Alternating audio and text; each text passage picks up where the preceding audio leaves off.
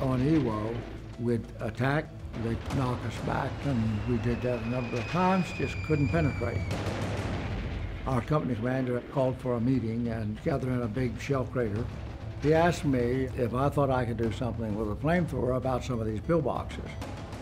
I had six Marines in my little demolition flamethrower unit, and he said, get four Marines to go with you and go to work. The first pillbox I'm going to try to burn out, their job is to shoot at the aperture in the front of the pillbox so that the Japanese in there can't shoot at me. Kuribayashi, the commanding general, had told the Japanese soldiers, you're going to die here because there's no way you can get back to Japan, and you're to take 10 Marines with you. So I strapped on a flamethrower to go take out some pillboxes.